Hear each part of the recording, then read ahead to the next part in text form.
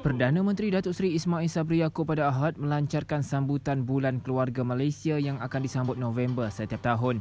Seiring dengan semangat dan aspirasi keluarga Malaysia, beliau mengisytiharkan mulai tahun ini Bulan Keluarga Kebangsaan yang diisytihar sejak November 2012 akan dikenali sebagai Bulan Keluarga Malaysia. Beliau berkata penjenamaan semula itu platform menyemarakkan keutuhan dan keterangkuman dalam keluarga Malaysia sekaligus menjamin kemakmuran serta perpaduan sebuah keluarga besar. Perdana Menteri berkata konsep keluarga bukanlah asing untuk semua kerana frasa keluarga itu bersifat inklusif merentasi sempadan agama, bangsa dan kaum. Institusi keluarga adalah institusi utama dalam mewujudkan sebuah negara sehinggalah tercetusnya konsep keluarga Malaysia dalam pentadbiran kerajaan hari ini.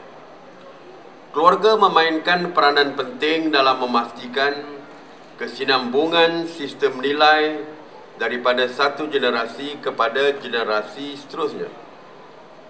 Semua institusi ini, sekiranya institusi ini hebat, maka akan hebatlah sesebuah negara. Beliau berkata demikian ketika berucap merasmikan Bulan Keluarga Malaysia di Taman Botani Perdana di Kuala Lumpur pada Ahad.